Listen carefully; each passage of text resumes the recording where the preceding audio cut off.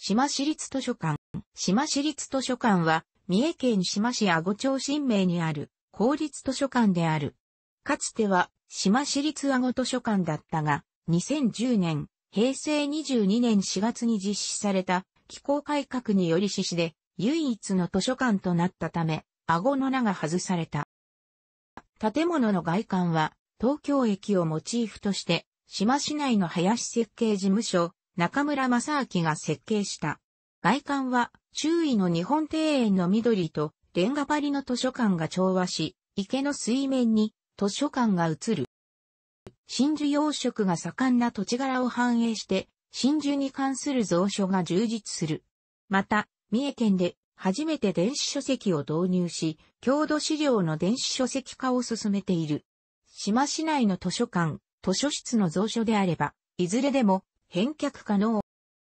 2013年、平成25年9月に、三重県の図書館で、初めて電子書籍の貸し出しを開始した。2012年、平成24年度にシステム更新をした際に新たに導入したもので、2014年、平成26年3月時点で日本文学や料理本など535冊を所蔵していた。導入当初は月50冊程度の利用があったが、2013年、平成25年12月以降は月70冊程度で推移している。図書館側は主に若者の利用を想定していたが、実際の利用の申し出は高齢者が多かったという。電子書籍は島市立図書館公式サイトにアクセスし、利用者カードの番号とパスワードを入力すると5冊まで15日間借りることができる。貸し出し期間を過ぎると自動的に返却され借りた本を読めなくなる。電子書籍は貸し出し、返却に人民を割く必要がなく、図書の保管場所が不要な上、紙の本のように傷む心配がなく、利用者にとっても文字の拡大縮小が自在で音声読み上げも可能であるなど利点が多いものの、著作権の壁や購入料金が高いことから蔵書数が少ないのが現状である。島市では、島市歴史民族資料館の発行冊子の電子書籍化を進め、郷土学習などへの活用を模索している。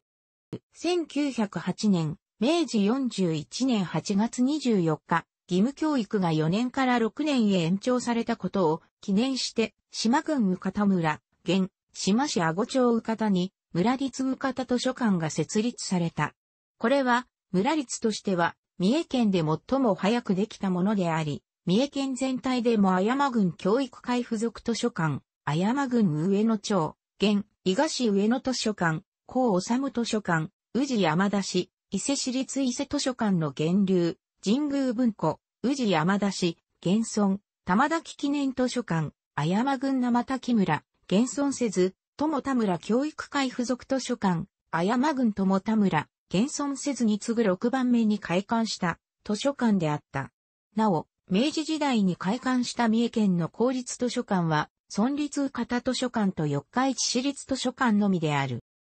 村立方図書館は、宇方神城小学校、現、島市立宇方、小学校内に設置され、設置準備期間を経て1909年、明治42年1月1日に正式に開館した。その後、磯部村、坂崎、現、島市磯部町、坂崎の坂崎尋常小学校の尋常化合点6年生を、宇方尋常小学校が受け入れることが決まり、高知の拡張と校舎の増築が行われ、1911年、明治44年に増築校舎の中に図書館が移った。開館当時の蔵書数は3328冊で、立派な蔵書院が押印された。初代館長の森口博吉は、図書館活動に熱心に取り組み、近くの西方寺で、未昇流生花展や、名家の色紙展を開催するなど、文化事業も活発に行った。このため、模範村として表彰を受けている。しかし、森口館長の退任後は、図書館活動が停滞してしまう。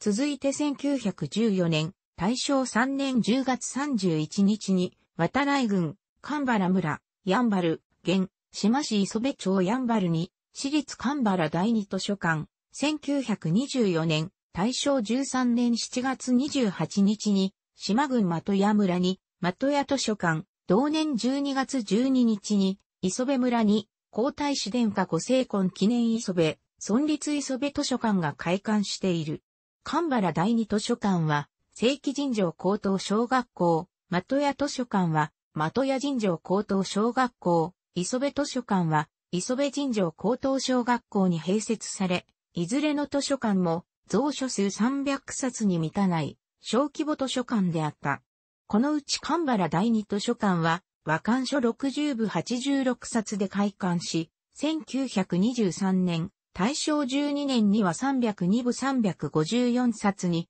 増加、閲覧者数は350人であった。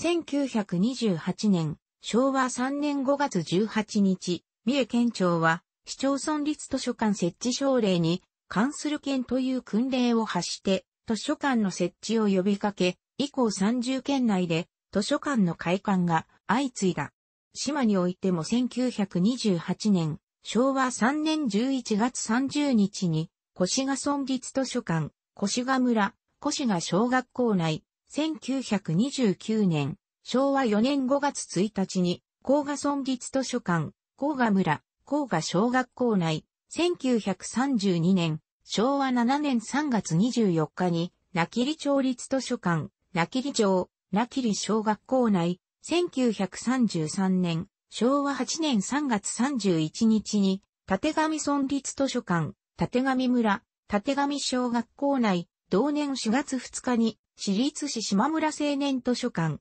市島村、市島小学校内、同年7月20日に、片田村立図書館、片田村、片田小学校内、同年12月12日に和具村立図書館、和具村が開館した。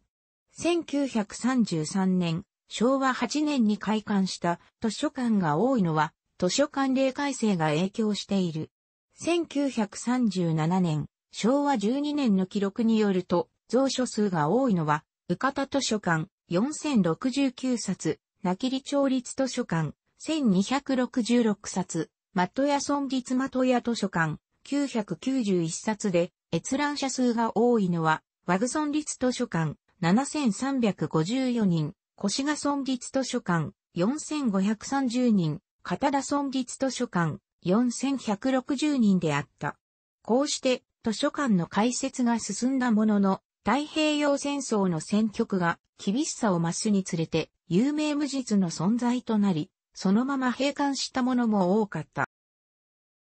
終戦後の混乱を乗り切り、活動を再開した島の図書館は、宇方、村立図書館2100冊、的屋村立図書館300冊、磯部村立図書館595冊、越賀村立図書館300冊、甲賀村立図書館393冊、なきり町立図書館130冊の6巻であるが、閲覧者数は最も多い的屋村立図書館でも1日10人に過ぎなかった。しかし1950年、昭和25年の図書館法制定により、三重県の図書館は8巻まで減少し、島から一旦図書館が消滅した。磯部町立図書館が開館するまでの間、島の図書館機能は公民館図書室が担うことになる。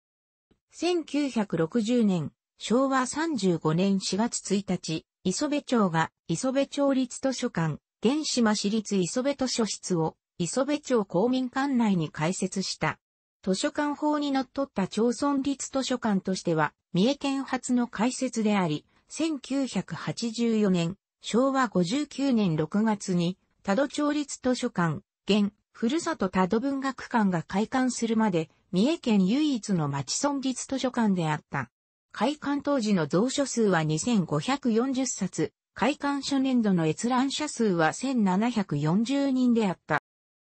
他の島郡4町、阿古町、浜島町、大王町、島町でも公民館から独立した図書館建設の機運が高まったが、実際に完成するには、平成時代に入るのを待たねばならなかった。また、大王町、浜島町では、図書館設置の動きがあったが、実現しなかった。